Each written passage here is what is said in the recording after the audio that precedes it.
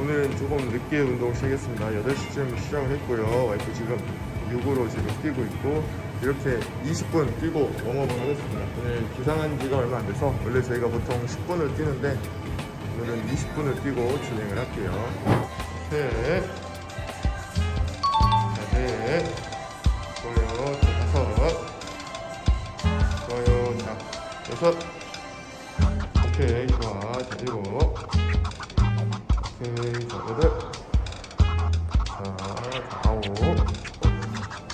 하나, 자, 둘, 자, 셋,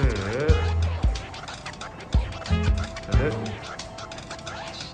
오케이, 다섯, 오케이, 자, 여섯, 지금 스탠스가 좋지. 자, 일곱, 오케이, 자, 여덟, 깊게 들어가야 돼. 자, 여섯, 좋아, 깊게, 자, 일곱, 자, 여덟, 좋아, 자, 아홉, 자, 자, 열, 자, 6회만 더, 6회만 더.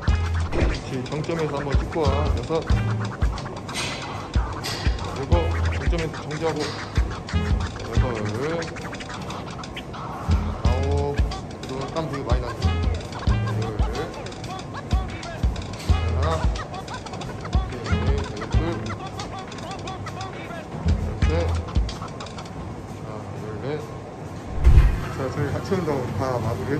오늘 되게 힘들게 했죠? 네. 지난번이 더 힘들었나요? 이번이 더 힘들었나요? 그치. 아니, 근데 저희가 지금 이렇게 꾸준히 하체를 한 게 지금 3회차잖아요? 근데 지금 2회차, 3회차의 그 텀이 너무 길었어요. 10일 만에 지금 한 거거든요.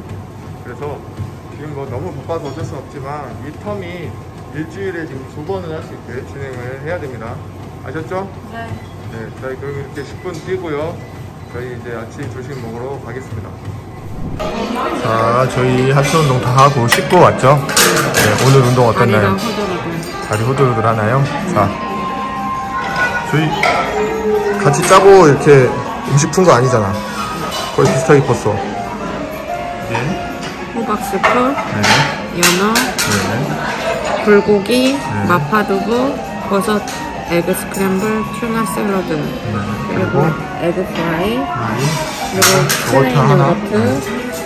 그리고 여기서부터는 남성 건데 거의 똑같아요. 그쵸. 거의 똑같습니다. 좀 차이는 이거, 이거. hash brown 있고, noodle, 있고, 치킨. 치킨. 음, 치킨 좀 많이 주죠. 그리고 밥, 볶음밥. 이렇게 차이 있습니다. 자, 얼른 먹고 가죠. 네. 맛있게 드세요. 본 아페티.